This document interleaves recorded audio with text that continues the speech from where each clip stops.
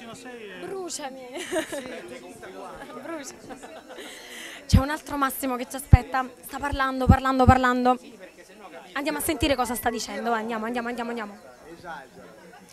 Io sto diciamo, prendendo spunto da vari insegnamenti filosofici e ritrovo con piacere questa videocamera che ho lasciato poco fa, che è la Leica di Comar.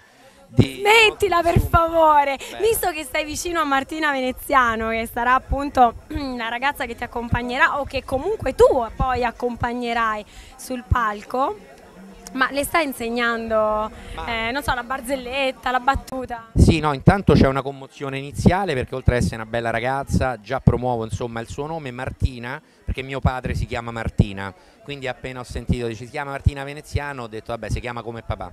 Papà si chiama Martino. No, no, no, Martina, c'ho papà che si chiama Martina. Tra l'altro cioè, c'ho mamma che è veneziana, però lei mi ha detto che è di Milano, quindi ho detto anche che mia madre è di Milano. Tra l'altro Antonella qui è di Grotta Mare, di San Benedetto, ho mamma che è di giù, insomma, quindi mamma è di dovunque voi siate e voglio ringraziare chi mi dà la possibilità di essere qui, il portiere dell'albergo. Quindi, insomma, Ah, ti ha dato il pass. Senti Massimo, ma questa Martina cosa stai scoprendo di lei? Non parliamo della cosa fisica ovviamente, della parte fisica. Ho scoperto una grande sincerità, mi ha rimesso, ci ho sempre avuti, però con i piedi per terra perché da lontano una sua amica ha indicato, vedi, tu sei abbinata con Massimo Bagnata, e lei ha fatto, ma chi è? Quindi c'è, una volta che ti fanno così, niente, c'è un senso paterno perché poi ho saputo di avere 23 anni più di Martina, io che mi credevo un Fischello. fischello, cioè, cioè 23 anni posso essere papà quasi nonno, cioè nel senso... Vabbè, quasi nonno no.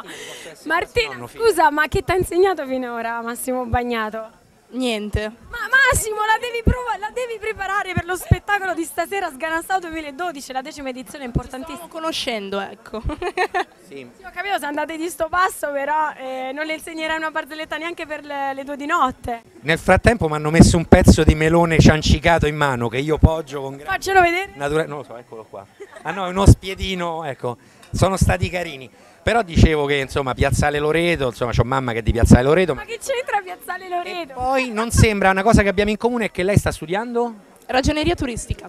Tu? No, io sono diventato ragioniere, ma dopo sono passato alla CEPU, subito dopo, perché insomma mi sono laureato in storia della PlayStation. io. Con il turismo che c'entri? No, col turismo niente, perché ho mamma che è di tutti i luoghi, quindi lei mi dirà come insomma promuovere i luoghi di appartenenza di mia madre. già. Ah, a proposito, saluto i miei genitori, eh, in particolare mia madre e mio padre. Non so se vuoi fare qualche saluto. Sì, saluti i miei genitori, mia sorella e i miei nonni. Ciao. Beh, un saluto particolare ai nonnini, vi capisco, io presto diventerò uno di voi. Nonni, con lei.